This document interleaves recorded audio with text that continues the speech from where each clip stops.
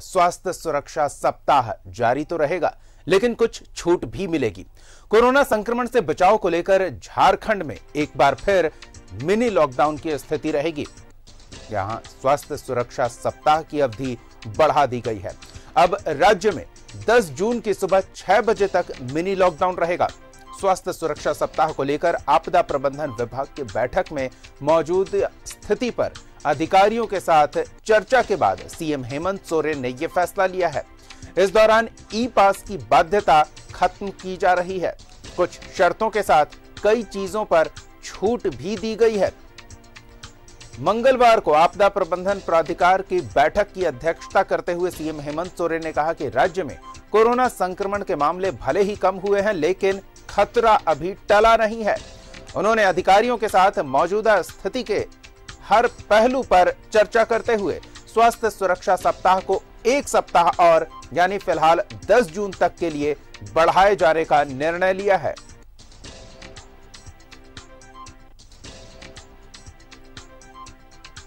तो ज़िले के अंदर परिचालन के लिए अब वाहनों के ई पास की अनिवार्यता को खत्म किया गया है। ज़्यादा संक्रमण वाले नौ ज़िले में कपड़ा, ज्वेलरी, जूता, चप्पल की दुकानों को खोले जाने की अनुमति नहीं है। बोकारो, धनबाद, जमशेदपुर, देवघर, रांची, हजारीबाग, गढ़वा, गुमला और रामगढ़ में पाबंदियाँ प्रभावी रहेंगी। बाकी के पंद्रह जिलों में सभी दुकानों को दो बजे तक के लिए खुले रखने की अनुमति दी गई है। हालाँकि मॉल और मल्टी ब्रांड दुकानें बंद ही रहेंगी। इंटर स्टेट और इंटर डिस्ट्रिक्ट बस परिवहन सेवा पर रोक जारी रहेगी। शादी समारोह को लेकर पाबंदियाँ पहले की तरह प्रभावी रहेंगी। स्विमिंग पूल, पार्क, जिम, मेला प्रदर्शनी, सिनेमा हॉल, इन सब पर अभी भी पाबंदी प्रभावी रहेंगी।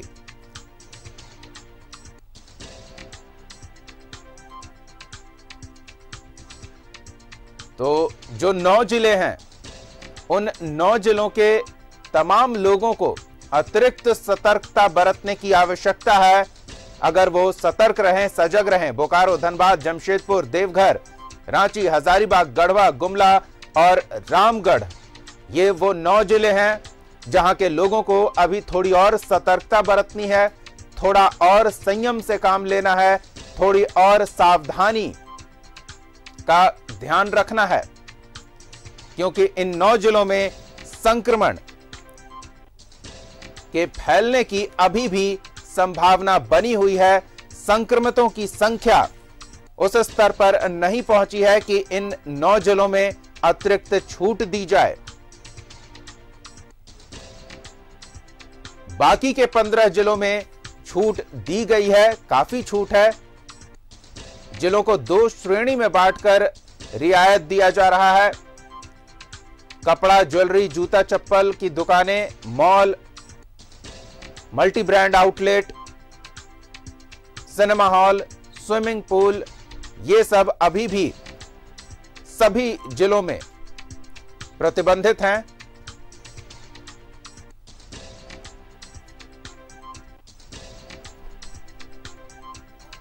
इंटर स्टेट और इंटर डिस्ट्रिक्ट बस परिचालन अभी भी बंद रखा जा रहा है अगले एक सप्ताह के लिए। स्विमिंग पूल, पार्क, जिम, मेला प्रदर्शनी, cinema hall, multiplex multi branded outlet, इन सब पर पाबंदी रहेगी। ई पास की अनिवार्यता खत्म की जा रही है ज़िले के अंदर और इंटर डिस्ट्रिक्ट में ई पास की अनिवार्यता खत्म की जा रही है।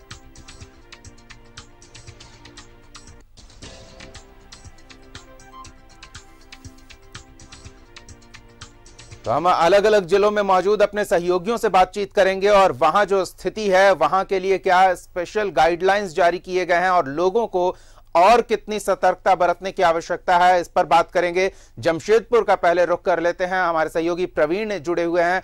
प्रवीण, चार तारीख से क्या स्थिति रहेगी? इसके दिशा निर्देश आ गए हैं कुछ जिलों में, जहाँ अभी भी संक्रमण फैलने का खतरा बरकरार है। वहाँ थोड़ी पाबंदियों को प्रभावी रखा गया है और काफ़ी छूट अगर कहे तो बीते चार सप्ताह की स्थिति से अगले सप्ताह का आकलन करके देखें तो दिया जा रहा है। देखिए दीपक, जिस तरह से सरकार ने यह निर्णय लिया है और स्वास्थ्य सुरक्षा सप्ताह की जो अवधि है वो बढ़ाई गई है, यानी मिनी लॉकडाउन की जो घोषणा की गई थी सरकार के द्वारा, जिसके हम चौथे चरण में हैं, अब हम पाँचवें चरण में प्रवेश कर जाएँगे चार तारीख से और अगले दस तारीख तक स्थिति जो है इसी तरह से बरकरार रहेगी। सबसे बड़ी बात है कि जो आवाजाही में परेशानी होती थी, स्थानीय लोगों को जो दिक्कतों का सामना करना पड़ता था और ई पास को लेकर काफ़ी कुछ परेशानियाँ झेलनी पड़ती थी, क्योंकि ज़िले के अंदर लोगों की बहुत सारी ऐसी समस्याएँ हैं जो तुरंत ई पास बनाना मुश्किल होता था और ऐसे में तुरंत ई पास बनाकर तुरंत निकलना, जैसे अस्पताल का चक्कर हो, दवाइयाँ खरीदनी हो, या फिर और भी बहुत सारी परेशानियाँ हो, किसी के घर जाना हो, बहुत ज़रूरी हो तो ऐसी बहुत सारी परेशानियों से अब लोगों को निजात मिल जाएगी, मुक्ति मिल जाएगी। क्योंकि ज़िले के अंदर अगर किसी को एक स्थान से दूसरे स्थान जाना है तो वहाँ पर ई पास की जो जो ई पास को लागू किया था, उसे समाप्त कर दिया गया। लेकिन अगर हम दूसरे ज़िले की बात करते हैं, अगर हम दूसरे ज़िले में प्रवेश करेंगे तो उसके लिए हमें ई पास बनाना बेहद ज़रूरी है। तो हालाँकि सरकार के द्वारा जो निर्णय लिए गए हैं, सरकार ने जो निर्णय लिए हैं, वो बेहद ही ज़रूर बेहद ही ज़रूरी थे ऐसे निर्णय लेने, क्योंकि जो संक्रमण का अभी जो प्रकोप प्रकोप है, वो अभी धीरे धीरे उतार चढ़ाव हो रहा है, वो थमा नहीं है, वो लगातार हम देख सकते हैं कि कुछ दिनों में आठ मौतें की पुष्टि स्वास्थ्य विभाग कर रही है तो कुछ दिनों में दो की पुष्टि कर रही है तो कुछ दिनों में ग्यारह की पुष्टि कर रही है। उसी तरह से संक्रमित मरीजों की संख्या में बात करें तो कभी सौ के अंदर है तो कभी सौ से बाहर है, या फिर सौ से सौ दो सौ से ऊपर है। तो ऐसी परिस्थिति में जब उतर, उतार चढ़ाव निरंतर जारी है और स्थिति जो है अभी भी विकराल स्थिति जो है वो गई नहीं है, स्थिति बरकरार है तो ऐसे में सरकार ने जो यह निर्णय लिया है वो बेहद ही ज़रूरी है और ऐसे में सब, सारे लोगों को अपनी सहभागिता सुनिश्चित करनी होगी। ये ज़रूर है दीपक, कि कुछ लोगों को परेशानियों का सामना अभी भी करना पड़ेगा, जैसे कपड़े के दुकान हो गए, जूते के दुकान या फिर ज्वेलरी दुकान और भी जो इतने भी जो सैलून है, जो सैलून संचालक है, उन्हें काफ़ी परेशानियों का सामना करना पड़ रहा है। तो वैसी परिस्थिति में इनके लिए क्या कुछ वैकल्पिक व्यवस्था हो?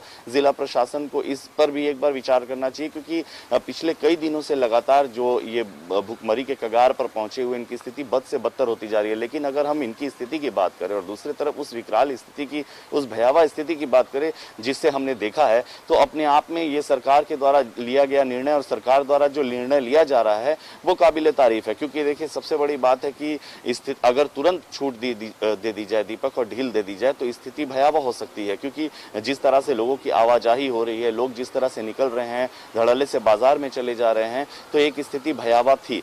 सबसे बड़ी बात है कि सरकारी जितने भी दीपक कार्यालय हैं वो दो बजे तक खोलने के आदेश दे दिए गए हैं। अब दो बजे तक जो है सरकारी कार्यालय खुले रहेंगे। तीन दुकानों को छोड़कर हमारे यहाँ पर नौ जिलों में हम भी हैं जमशेदपुर पूर्वी सिंहभूम ज़िले। जो पूर्वी सिंहभूम जिला भी में भी संक्रमण का जो है प्रकोप काफ़ी बेहद ज़्यादा है और उतार उतार चढ़ाव जो है जारी है। तो ऐसे में नौ जिलों को नौ ज़िले में पूर्वी सिंहभूम ज़िले को भी रखा गया है और यहाँ पर जो पाबंदियाँ हैं जो बंदिशें हैं उसे निरंतर पिछले की तरह ही अगर हम कहे जाएँ तो ओवरऑल पिछले की तरह ही यह बंदिशें हैं और 10 तारीख के बाद अब सरकार क्या निर्णय लेगी ये तो वक्त बताएगा लेकिन सरकार के द्वारा बाद क्या होता है ये सरकार 10 तारीख से पहले फैसला ज़रूर लेगी लेकिन फ़िलहाल इतना स्पष्ट है कि इन जिलों में थोड़ी और सतर्कता बरतते जाने की ज़रूरत है, जैसे रांची, बोकारो, धनबाद, जमशेदपुर। हमारे सहयोगी प्रवीण बता रहे थे, देवघर, हजारीबाग, गढ़वा, गुमला और रामगढ़, ये वो नौ ज़िले हैं जहाँ पर्याप्त छूट नहीं मिल रही है, क्योंकि इन जिलों में संक्रमण फैलने का खतरा अभी भी बना हुआ है। धनबाद भी उन जिलों में से एक है। हमारे सहयोगी दिलीप जुड़ रहे हैं धनबाद से। उनसे जानते हैं कितना ये सही फैसला है क्योंकि व्यवसायिक तबका काफ़ी दबाव बना रहा था कि अब उन्हें छूट दी जानी चाहिए, लेकिन कुछ छूट ही मिल पाई है, पूरी छूट। जो अन्य ज़िले जहाँ संक्रमण फैलने का खतरा कम है, उस हिसाब से छूट नहीं दी गई है। दिलीप।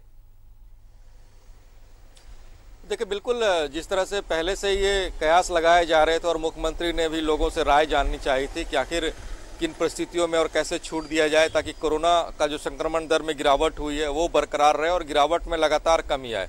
और दूसरा, लोगों को भी नुकसान ना हो, जिस तरह से पिछले कई दिनों से उनका व्यवसाय बंद है, वो दुकान नहीं खोल पा रहे अपने जो छोटे छोटे व्यवसाय करते वो नहीं कर पा रहे इसको लेकर के मुख्यमंत्री ने राहत के तौर पे कई घोषणाएँ की हैं, जिसमें कि धनबाद में भी डेंजर जोन में था। धनबाद में भी घोषणाएँ हुई है कई दुकानें खुल सकती है लेकिन तीन दुकान जो उन्होंने बंद रखने की बातें कही है अपनी घोषणा में ज्वेलरी शॉप जूता चप्पल दुकान और कपड़े की। और खास करके ये तीन दुकान बंद रहने से जो व्यवसायी वर्ग हैं जो यहाँ के लोग हैं जो चैम्बर से जुड़े लोग हैं उन्होंने अपनी नाराज़गी व्यक्त की है नाराज़गी जताई है कि आखिर उन्हें इस श्रेणी से बाहर क्यों रखा गया है? क्योंकि कोरोना गाइडलाइन का पालन वो भी उसी तरीके से करेंगे जिस तरीके से बाकी दुकानदार करेंगे।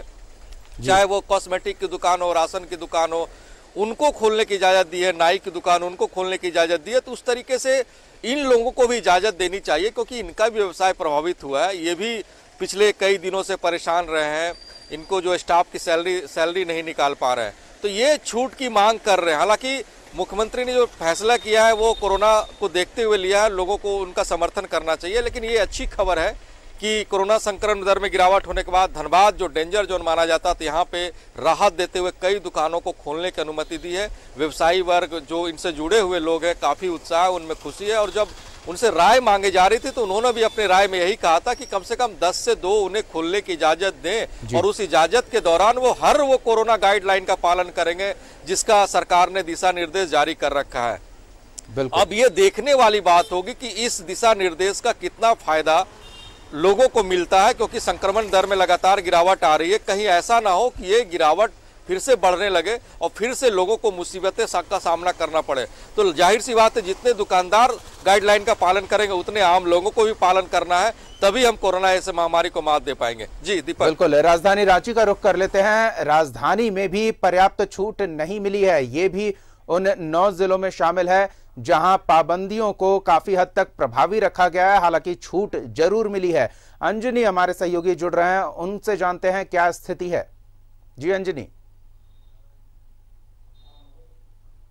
देखिए दीपक, हम लोग पहले भी बात कर रहे थे कि सरकार यदि छूट देगी तो कुछ अलग अलग कैटेगरी क्रिएट करेगी और वही अंततः जो है वही बातें सामने निकल कर आई हैं। लेकिन जो नौ जिलों को का जो आंकड़ा है वो कहीं ना कहीं संक्रमितों की संख्या की बात करें या मरीजों की बात करें या ग्रोथ रेट की बात करें मौत का आंकड़ा की बात करें तो सॉरी इन जिलों में जो है आ, को देखते हुए सरकार ने ये फैसला ज़रूर लिया है कि आ, बहुत ज़्यादा छूट जो है रांची की बात करें या पूर्वी सिंहभूम की बात करें गढ़वा की बात करें धनबाद की बात करें बोकारो की बात करें तो इन जिलों को लेकर रामगढ़ की बात करें तो हमें लगता है कि सरकार जो है बहुत सतर्क होकर धीरे धीरे छूट देने का मन बनाई है और ये होना भी चाहिए क्योंकि अचानक तमाम चीज़ें यदि खोली जाएँगी तो वो अच्छी नहीं है।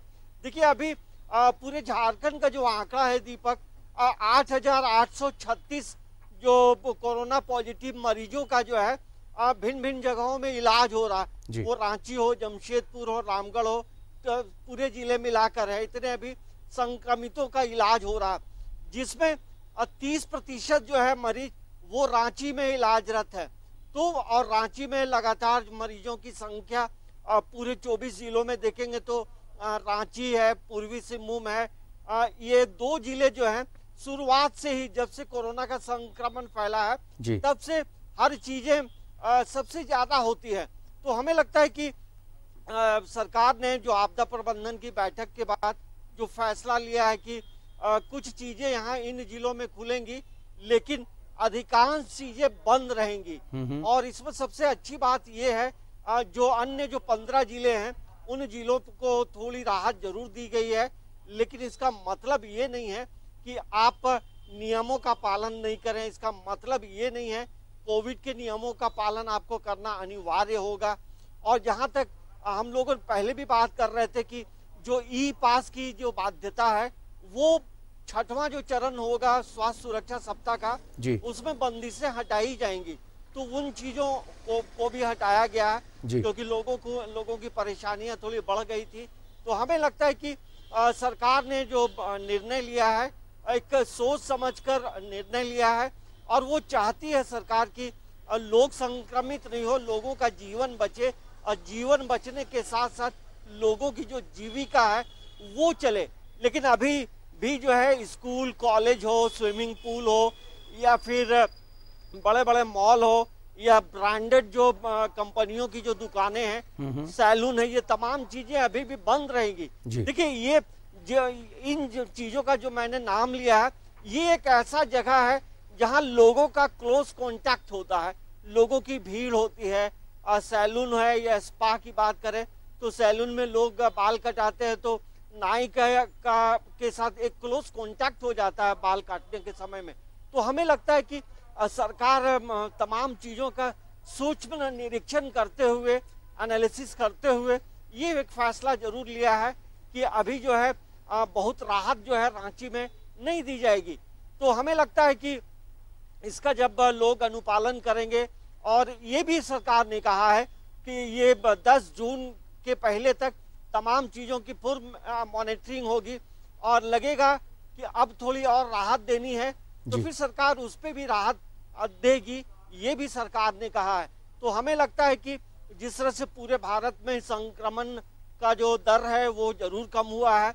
लेकिन संक्रमित मरीज़ अभी भी इलाजरत है।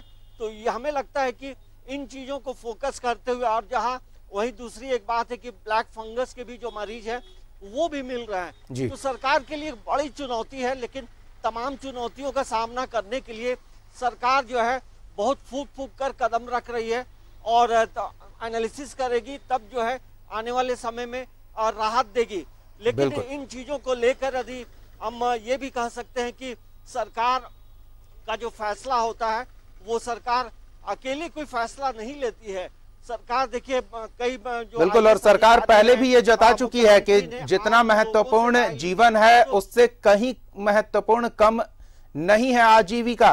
सरकार का फोकस अब जीवन बचाने के साथ आजीविका के साधन को बचाए रखना भी है। उन नौ जिलों की जहाँ की हम बात कर रहे हैं कुछ अतिरिक्त पाबंदियाँ प्रभावी है उनमें देवघर भी शामिल है। देवघर से हमारे सहयोगी मनीष जुड़े हुए हैं उनसे ताज़ा स्थिति के बारे में जानते हैं। जी मनीष बताएँ। देखिए दीपक चूँकि सरकार ने जो फैसला लिया है, उसके आधार हैं इसलिए नहीं लिया गया कि बाकी राज्यों में स्थिति अच्छी हो रही है, बल्कि इसलिए कि झारखंड में स्थितियाँ काफ़ी अच्छी हो गई, बहुत राहत देने वाली हुई, और जो स्थितियाँ बदली हैं, उसके लिए सीधे सीधे जो पाबंदियाँ लगी थी पिछले दो तीन सप्ताह से जो चल रहा था, उसका फ़ायदा हुआ है। तो निश्चित तौर पर सरकार का ये फैसला है अनलॉक ऑन वन की तरह जाने के लिए।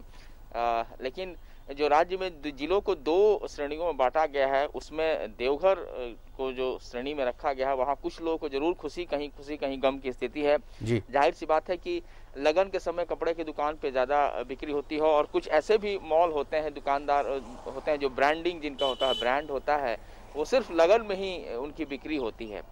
सरकार भले ही इस बात को कह दिया है कि ग्यारह लोग ही शादी में शिरकत करेंगे या फिर आप कोर्ट में शादी कीजिए या फिर मंदिर में कीजिए या फिर घर में कीजिए, लेकिन दीपक आप इस बात को समझ सकते हैं कि दुल्हा दुल्हन और दोनों पक्षों के कम से कम माता पिता या जो वैसे लोग जो शादी ब्याह में बिल्कुल मुख्य हैं, जो रूप से सभी संस्कार करते हैं तो उनके भी नए कपड़े होते हैं, पंडित को भी देना होता है।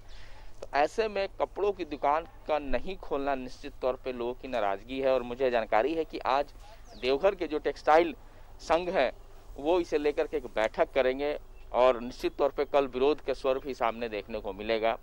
दूसरी सबसे बड़ी बात चीज़ है कि जो बाकी चीज़ों को जो खोल दिया गया उस पर कल रात ही मैंने बात की थी फेडरेशन से उन्होंने सहमति जताई थी और खुशी भी लेकिन उन्होंने भी कहा था कि थोड़ी पाबंदियों के साथ ही कपड़ों की दुकानों को खोले जा सकते थे। देखिए अभी जो वैक्सीनेशन चल रहा है उसमें संताल परगना में देवघर सबसे आगे है। जी। और अगर हम एक्टिव केस की बात करें तो कल नए ग्यारह मात्र ग्यारह नए संक्रमित केस आए हैं और अब तक सिर्फ़ तीन सौ अठहत्तर ही केस एक्टिव हैं। यानी कि हम कह सकते हैं कि स्थितियाँ उतनी बुरी नहीं है जितनी की जिस तरह से श्रेणी में बांटा गया। मुझे लगता है कि सरकार को इस पर एक बार विचार करनी चाहिए क्योंकि देखिए कपड़ों की दुकान में मैं बार बार वकालत इसलिए कर रहा हूँ कि कपड़ों की दुकान लोगों की स्थिति पिछले साल भी बंदी हुई थी। और सबसे बड़ी बात दीपक यह है कि देवघर की जो इकोनॉमी है वो बाबा इकोनॉमी है यानी कि बाबा मंदिर से ही जुड़ा हुआ इकोनॉमी है। और दूसरा एक लगन मिलता है, यानी शादी विवाह का बोलता है। तो ये दो चीज़ हैं, बाकी चीज़ें यहाँ नहीं हैं।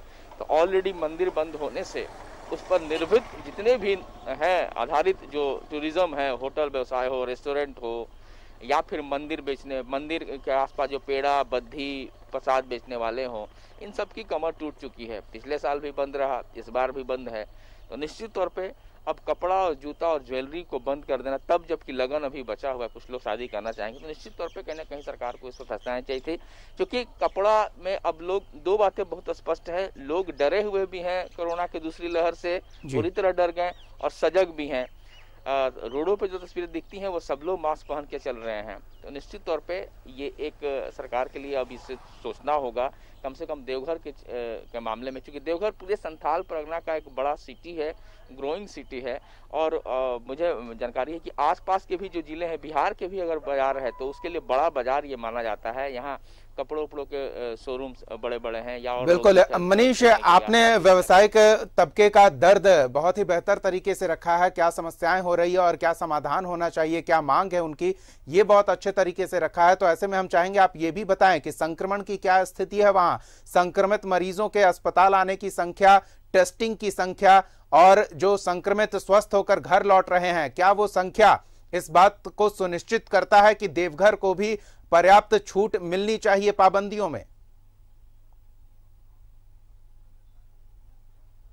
आप अब उस तरह से सारण रोड पे एंबुलेंस का सारण नहीं दिखता है। अगर हम आधार बनाए ऑक्सीजन का इस्तेमाल करने के लिए तो आप पूरे राज्य में ही देवघर में भी अब ऑक्सीजन की, की, की मांग उतनी नहीं रही। अब ऑक्सीजन की मांग कम हो गई है आईसीयू में बहुत कम मरीज़ हैं। लगातार लोग ठीक होकर के घर लौट रहे हैं। अगर हम बात करें तो मात्र सिर्फ़ तीन सौ अठहत्तर लोग ही एक्टिव केस में अब हैं। जी। दस हज़ार से ज़्यादा दूसरा तो यानी कि जो ठीक होके चले गए और जब बचे हुए मात्र तीन हज़ार अठहत्तर हैं। हम्म। कल ग्यारह लोग नए संक्रमण का, का मामला सामने आया है और जो बाकी उनसे टच में है उनका भी ट्रेसिंग किया जा रहा है।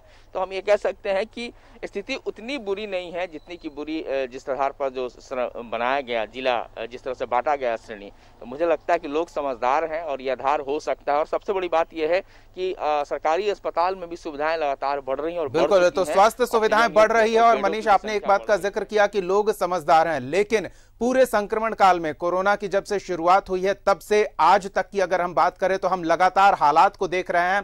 लोग कितने सतर्क हैं, कितनी समझदारी बरत रहे हैं और सावधानियों का किस स्तर पर पालन कर रहे हैं, ये भी हम लगातार देखते आए हैं। तो संक्षेप में हम अपने सभी सहयोगियों से जानना चाहेंगे, क्या सरकार मौजूदा स्थिति को देखते हुए लोगों पर भरोसा कर सकती है कि लोग संयमित रहेंगे, तमाम सुरक्षा मानकों का पालन करेंगे? मनीष, आपसे शुरू करते हैं संक्षेप में।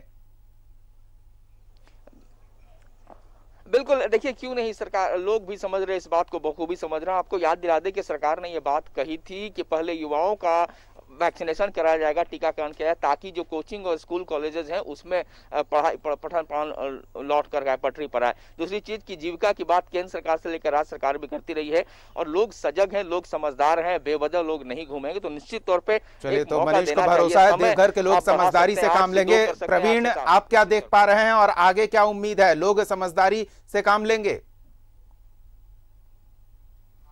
देखिए दीपक, अगर अभी भी लोग नहीं सतर्क हुए, नहीं संभले तो स्थिति और बिकराल होगी, क्योंकि सामने एक भुखमरी की समस्या भी उत्पन्न हो रही है, क्योंकि जिन लोगों को छूट से दरकिनार किया गया है, दूर, अलग रखा गया है, वे दबी जबान से सरकार को कोसते हुए नज़र आ रहे हैं, लेकिन उन्हें समझना होगा कि मानव जीवन ही बचेगा, तब जाके जीविका भी बचेगी। तो ऐसे में सरकार के द्वारा जो निर्णय लिए जा रहे हैं, सरकार के द्वारा फैसला लिए जा रहे हैं, अगर दस तारीख के बाद रियायत दी जाए, अगर छूट दी जाए या टाइमिंग बढ़ाया जाए तो ऐसे में सारे लोगों को प्रण लेने की ज़रूरत है कि हम प्रण लें, ताकि हम जो है सरकार के ऊपर ऐसा बोझ ना डाले कि स्थिति और विकराल हो जाए और स्थिति इतनी भयावह हो जाए कि सरकार को फिर बिल्कुल पूरी तरह से तालाबंदी करने की नौबत ना आ जाए। दिलीप क्या लगता है धनबाद के लोग इतने सतर्क समझदार नज़र आ रहे हैं? जो हालात है अधिक प्रतिशत उन लोगों का है जो सतर्कता बरत रहे हैं या फिर उन लोगों का जो अभी भी लापरवाह नज़र आ रहे हैं? देखिए, बिल्कुल थोड़ी बहुत और छिटपुट लापरवाही वो देखने को मिलेगी, क्योंकि जो लोग लापरवाह हैं, वो कभी सुधर नहीं सकते। हालाँकि लोग समर्थन कर रहे हैं, लोग सरकार का भी समर्थन कर रहे हैं। जिस तरह से सरकार ने लोगों पे, व्यवसायियों पे, आम लोगों पे छोटे छोटे दुकानदारों पे भरोसा करके उन्हें इजाज़त दी है दुकान खोलने की तो ज़ाहिर सी बात है लोग और दुकानदार और छोटे छोटे व्यवसायी भी सरकार का भरोसा नहीं तोड़ेंगे और कोरोना संक्रमण दर को रोकने में, खत्म करने में सरकार और जिला प्रशासन की जितनी भूमिका है, उतनी भूमिका आम नागरिकों की भी है, व्यवसायियों की भी और दुकानदारों की भी है। तो ज़ाहिर सी बात है ये लोग भी सरकार का समर्थन करेंगे और सरकार के भरोसा जो है तोड़ेंगे नहीं, क्योंकि इन्हें पता है कि अगर संक्रमण के दर में लगातार इजाफा होगा तो ज़ाहिर सी बात है फिर से इन्हें सुरक्षा सप्ताह के तहत लॉकडाउन झेलना पड़ेगा फिर से दुकानें बंद बंद हो जाएगी इनका व्यवसाय चौपट हो जाएगा। अंजलि संक्षेप में आपसे भी जानना चाहेंगे आपको भरोसा है कि लोग सतर्कता बरतेंगे ताकि सरकार और छूट दे जो सरकार से छूट मांगी जा रही है? हाँ देखिए लोगों को ज़रूर लोग नियमों का पालन करेंगे और यही वजह है कि सरकार का के कहे अनुसार तमाम जो चीज़ें हैं रांची के लोग भी एडॉप्ट करते हैं।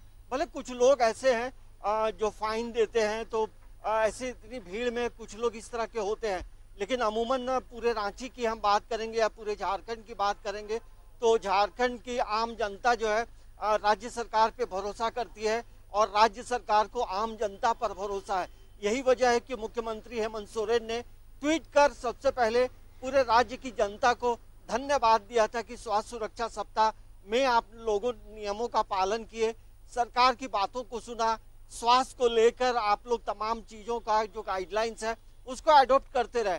तो भरोसा पे ही तमाम चीज़ें चलती है। बिल्कुल सरकार तो सरकार हम पर भरोसा कर रही है तो हमें भी सरकार पर भरोसा करने की आवश्यकता है। सरकार जो फैसले ले रही है विशेषज्ञों और आम लोगों की सलाह से फैसले लिए जा रहे हैं तो इस बात की गुंजाइश बेहद कम है कि सरकार हमारी आजीविका को प्रभावित कर पाए, ऐसा फैसला बिल्कुल नहीं लेगी। हमारी सुरक्षा प्राथमिकता है, आजीविका दूसरे नंबर पर आता है तो पहले हमारी सुरक्षा और उन नौ जिलों में जहाँ संक्रमण फैलने का अभी भी डर है, वहाँ थोड़ी पाबंदियाँ प्रभावी रखी गई है। तो हमें और सतर्कता बरतने की आवश्यकता है। बहुत बहुत धन्यवाद, अंजनी, प्रवीण, दिलीप और मनीष, आप चारों का अलग अलग जिलों से ताज़ा स्थिति हमारे दर्शकों तक पहुँचाने के लिए इस खास पेशकश में। फ़िलहाल इतना ही, आप देखते रहिए न्यूज़ इलेवन भारत।